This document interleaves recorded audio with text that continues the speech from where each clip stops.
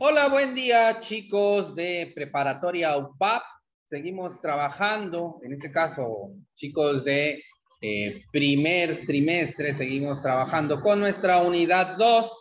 Y bueno, recuerden que estamos con el tema de las tecnologías de la información y la comunicación, Internet y sus recursos. Entonces, eh, vamos a pasar directo a nuestro tema. Y bueno, el primero nos habla sobre Internet y sus recursos. ¿Qué son? ¿Qué es Internet y cuáles son los recursos que maneja Internet? ¿Qué es Internet? Bueno, como vemos en la imagen de fondo, Internet es una red de redes, ¿sí? Es un conjunto de computadoras conectadas entre sí en una red y bueno, eh, en este caso Internet es la red de redes, es también conocida como la supercarretera de la información. Bueno, tenemos aquí lo que es Internet. Y bueno, eh, también eh, para poder conectarnos a Internet, bueno, nosotros contratamos el servicio con una empresa, la cual, bueno, toda esta información que se transmite se va a transmitir mediante unos protocolos. ¿Y qué son los protocolos? Bueno, es la forma en cómo se va a comunicar una computadora, ¿sí?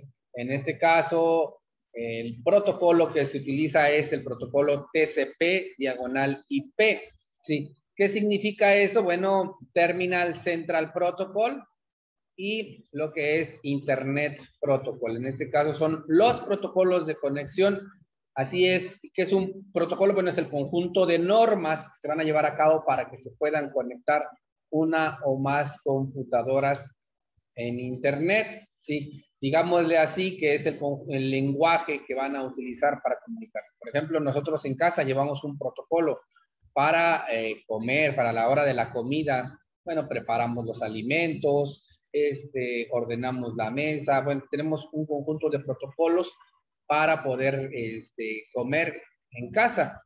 En todos lugares, en todos lugares llevamos a cabo ciertos protocolos. Por ejemplo, en una fiesta de 15 años se lleva un protocolo. En una boda se lleva otro tipo de protocolo. Bueno, en, en lo que es tecnología, en lo que es informática, también se deben llevar ciertas normas, ciertos protocolos, ciertos procedimientos.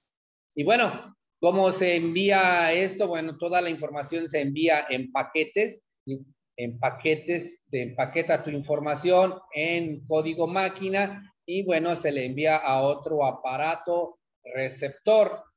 Generalmente este es un servidor que se comunica con el otro dispositivo. Entonces, de esta forma funciona el protocolo TCP/IP. Ahora, ¿qué es una dirección IP? Porque estamos hablando de que, bueno, como que se conectan nuestros dispositivos por, a Internet por medio de una dirección IP. De hecho, cuando nosotros contratamos el servicio, el servidor, lo que es la empresa que se encarga de proveernos el servicio, nos da un número, así como nuestro número telefónico que tenemos de Telcel, de Movistar, de, este, de AT&T, de la compañía que ustedes tengan, siempre les dan un número telefónico. Igual, pasa con Internet, nos dan un número, ¿sí?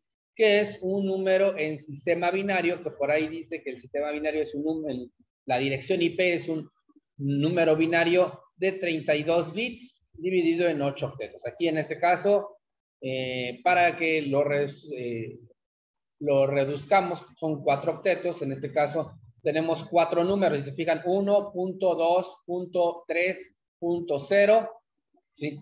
Esta es mi dirección IP.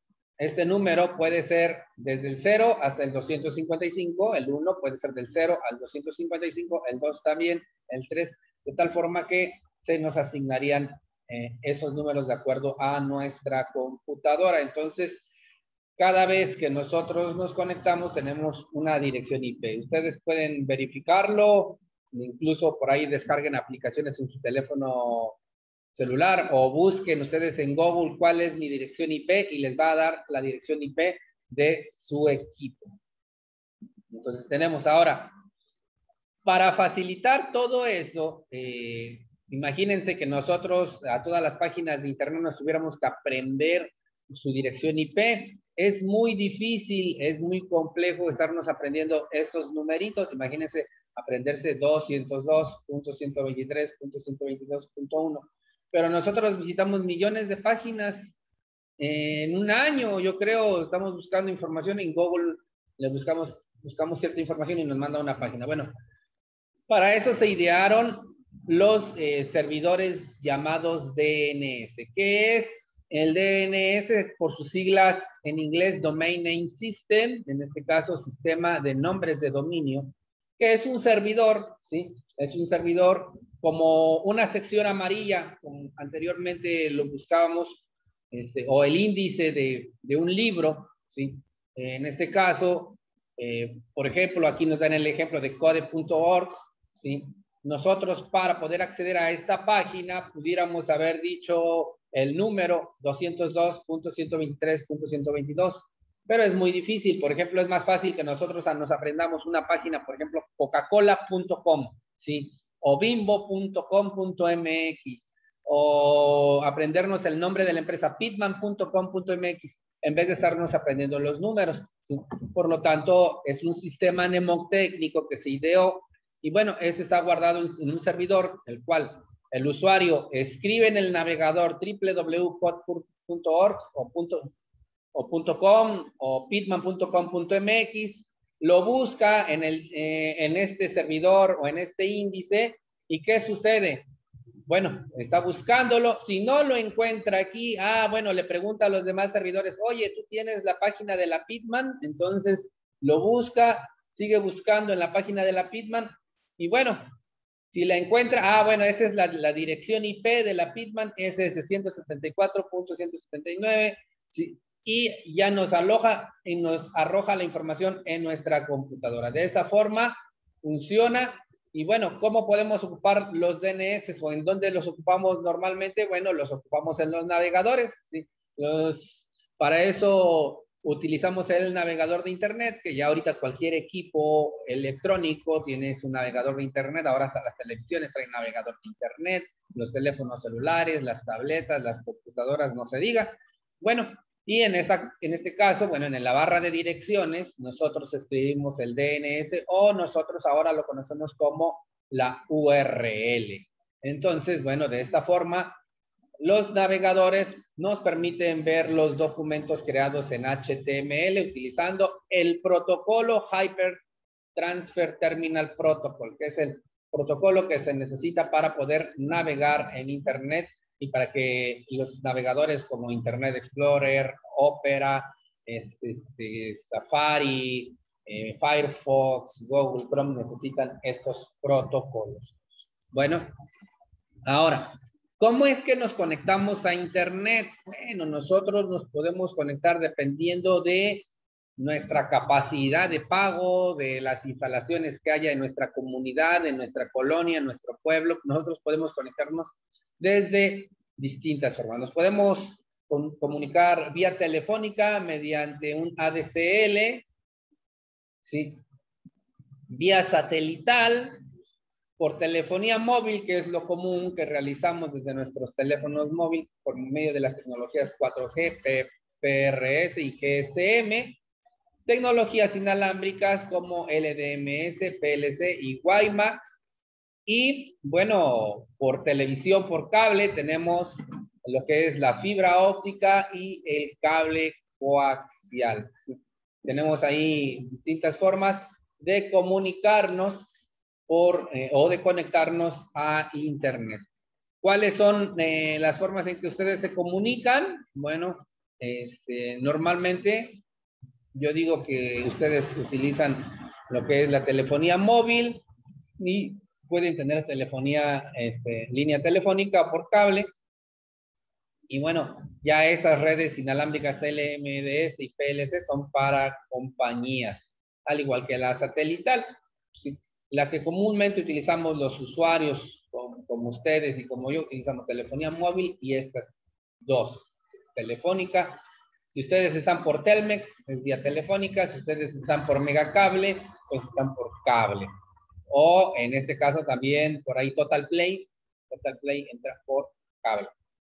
Bueno, ahora, En este caso, ¿cómo es que se mide la velocidad de Internet? La velocidad de Internet se mide en BPS, bits por segundo o baudus por segundo. Esto es, eso significa BPS. Entonces, si yo tengo una conexión de 100 Mbps, significa que son 100 megabits por segundo. ¿sí?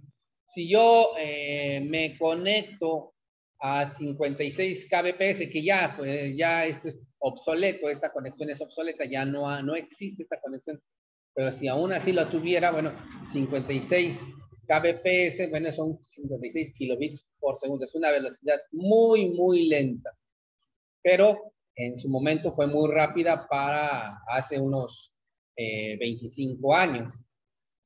Ahora, por eh, conexión de banda ancha, DSL y ADSL se manejan eh, para usuarios este, normales, residenciales que le llaman. hay velocidades de hasta 50 megabits por segundo. Y bueno, por cable nos dice que un megabit, pero ya en cable ya también está, ya aumentó el ancho de banda, ya pueden llegar hasta un gigabit por segundo si ustedes lo quieren para conexiones empresariales. Y bueno, la conexión de banda ancha, en este caso por Wi-Fi, eh, va de 11 hasta 46, 48 megabits. Y bueno, la telefonía móvil también ya también se actualizó, ya hay telefonía móvil que tiene altas velocidades, altos eh, bando este, alta gama, de alta gama para enviar la información y también llegan hasta los 20 megabits por segundo. Y ya nada más haciendo un breve repaso del tema anterior de la clase pasada, hablábamos de las desventajas de estar conectados a Internet, las desventajas de las tecnologías de la información y la comunicación, y hablábamos de las distracciones. En Internet es una una fuente inagotable de distracciones, ¿sí? Si ustedes quieren estar trabajando en Internet, si quieren estar estudiando, se distraen mucho, ya sea por videos de YouTube, por Facebook, por Twitter, y tienen muchas distracciones, entonces se requiere mucha disciplina y autocontrol, autoconocimiento para poder trabajar en línea y hacer este trabajo que se le llama ahora home office, ¿sí? O en este caso la educación virtual. Se requiere mucha disciplina y autodeterminación de ustedes. También, bueno, otra de las desventajas provocaba el aislamiento. No podemos anteponer la relación virtual a una relación interpersonal. ¿Qué pasa? Yo me aíslo del mundo eh, normal y me voy al mundo virtual y veo y vivo una, un mundo que no existe, que no es. ¿sí? Por lo tanto, este, es importante que nosotros, vuelvo a repetir, eh, dejemos un momento el teléfono celular, dejemos la computadora y nos pongamos a ver lo que es el mundo real. No es completamente inclusivo. ¿A qué se refiere con inclusivo? Que no es para todo el mundo, ¿sí? El aprendizaje online, el trabajo online, este, no es para todo el mundo, ya que no todos tienen la tecnología suficiente, no todos tienen esta herramienta. Y bueno, hay algo que se le llama brecha digital. Aquí tenemos, si se fijan, un, eh, un lugar con computadora y un lugar que debería de ser al revés. Por ejemplo, aquí está verde y aquí está eh, árido. Bueno, debería ser al revés porque un lugar donde no hay tecnología, pues eh, pocas veces pueden tener este, lugar verde. Pero bueno, eh, tenemos acá eh, que las desventajas de las tecnologías de la información y la comunicación. También que puede ser anular nuestras habilidades. ¿ah?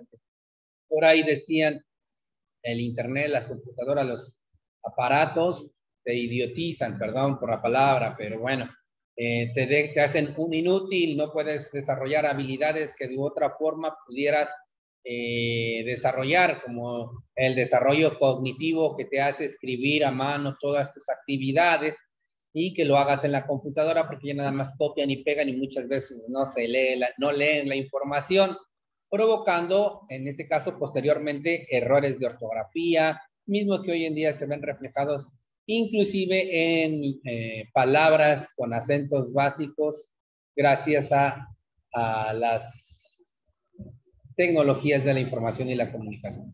Otra de las cosas, bueno, que hemos perdido, bueno, es la fiabilidad de la información. Se corre el riesgo de encontrar una infinidad de información no verificable. Esto te puede llevar a información con aprendizajes incompletos o lo que es peor, a un aprendizaje erróneo. Entonces ya tenemos ahí algún problema de, eh, la información, que no todo es fiable. Tenemos que estar verificando constantemente visitando varias páginas de Internet, varios sitios de Internet, para verificar que nuestra información sea verdadera o sea real. Ahora, en cuanto a las tecnologías de la información, se han convertido en la herramienta para comunicarse entre personas en tiempo real e incluso para facilitar el acceso a las redes sociales como las que tenemos aquí, Facebook, ¿sí? Twitter, YouTube, todas las redes sociales que existen, bueno, eh, las tecnologías de la información nos han dado la facilidad de el acceso a ellas. Y bueno, el correo electrónico eh, es importante porque ya para próximo, la próxima semana vamos a ver el tema del correo electrónico. Bueno, los correos electrónicos están relacionados siempre con la acreditación virtual siendo esta la forma en la cual nos podemos registrar en los sitios. Hagan de cuenta que el correo electrónico es nuestra credencial, por eso es importante cuando hacen un correo electrónico, no le pongan chiquito bebé, princesita love, entonces siempre eh, traten de escribir su nombre, ¿sí? Eh, con iniciales, si ya lo van a utilizar, si es que van a utilizar para siempre. Yo tengo desde que eh, se inventaron los correos electrónicos. Bueno, desde que yo utilicé mi primer correo electrónico lo sigo utilizando, que es en el que me mandan las tareas desde fs-juárez hotmail, ese lo tengo desde que era yo estudiante y bueno, eh, les recomiendo que mantengan su correo electrónico y bueno, eh, habla mucho de ustedes, ya que también este correo electrónico les permite acceder a las redes sociales, y bueno, de forma empresarial también dicta mucho o habla mucho de ustedes.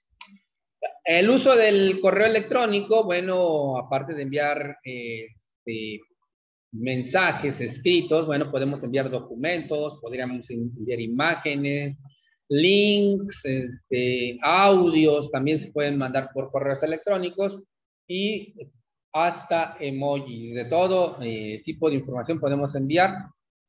Eh, la capacidad máxima, dependiendo del tipo de correo electrónico, bueno, desde un 30 eh, megabytes por, este, por correo electrónico, no pueden excederse de esos 30 megabytes para poder enviar un correo electrónico. Por eso se recomienda nada más para documentos y texto, no, no videos. Si quieres enviar un video, bueno, puedes enviar el enlace y tienes la nube, la famosa nube para guardar la información, en este caso Google Drive, eh, Dropbox y Mega, son programas que tienen. Bueno, entonces, ya para finalizar eh, nuestra actividad, van a hacer un breve resumen de lo que acabamos de ver, lo van a localizar en su libro, ¿sí? Y también eh, van a contestar la parte de atrás de su libro, en este caso las actividades que vienen al final de la unidad y al final del libro que tengan que ver con este tema que acabamos de ver. Cuídense mucho. Saludos.